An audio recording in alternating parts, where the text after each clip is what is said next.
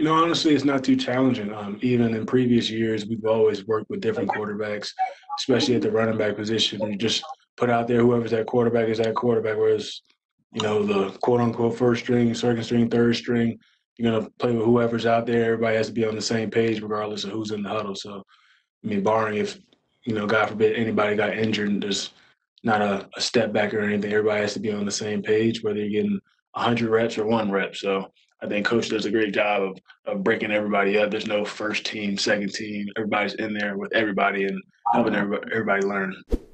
Um, I'm very excited. I was very excited to be able to sign back and uh, just to have the opportunity to come back to this great place. Um, you know, uh, last year I just I just love being in, in, the building. The environment is amazing. My coaches and teammates are very amazing.